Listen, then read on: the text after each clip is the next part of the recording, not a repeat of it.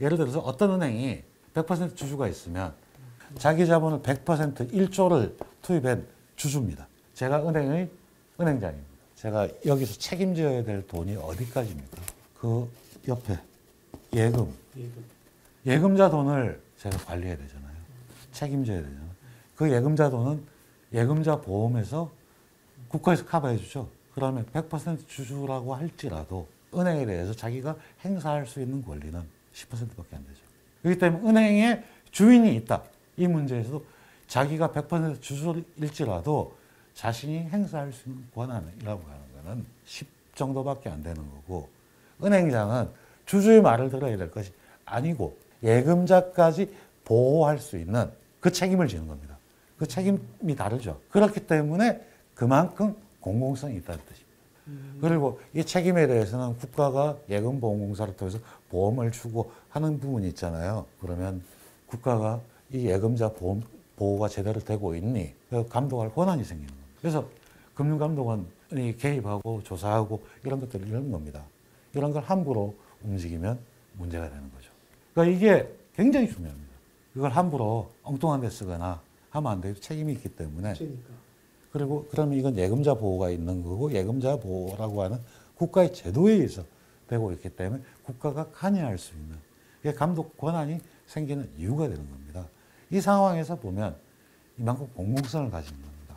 은행업은 대출업이고 은행업을 인간은 대출하라는 뜻입니다. 그죠? 근데 대출하는데 함부로 대출하지 마라. 규정에 맞게 대출을 하고 관리가 돼야 된다. 이런 의미에서 은행은 공공성을 띠는 겁니다.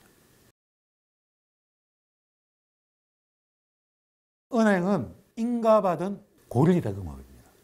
은행은 실제로 돈 장사라고 하는 데죠. 그러면서 그 송금이 되고 이런 거지. 그리고 그 금융기관에서 예금을 받는 기관이 감독이 가장 타이트합니다.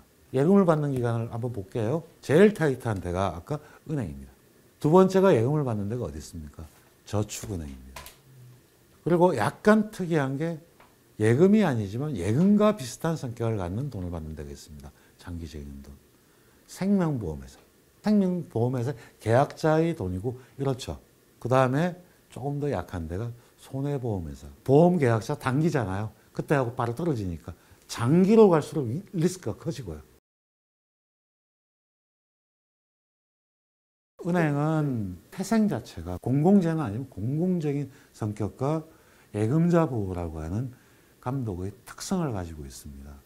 그렇기 때문에 은행은 항상 예금자와 대출 관리를 제대로 해야 되는 기관입니다. 그걸 표현하는 부분이 금리로 표현되어 있고요. 그걸 어떻게 감독을 잘하는 방법은 금리 자체를 거론하는 것보다 그 제도의 본질에 맞춰서 그 제도를 운영하는 게 가장 중요합니다. 그래야지만 금융기관에 대한 신뢰가 덜 떨어집니다. 신뢰가 떨어지면 은행이 도둑놈이라든지 은행이 신뢰가 못할 사람들이라 하는 순간 그 사회는 굉장히 힘들어질 수 있습니다. 그래서 은행 스스로도 자신들이 공공적인 성격을 가진다고 생각을 하고 고객을 위해서 예금자를 위해서 최선을 다해야 되고요. 고객의 입장에서 판단하는 게 최우선인 거고요.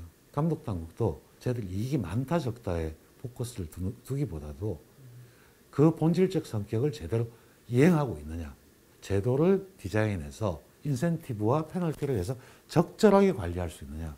여기에 중점을 두는 게 맞다고 봅니다.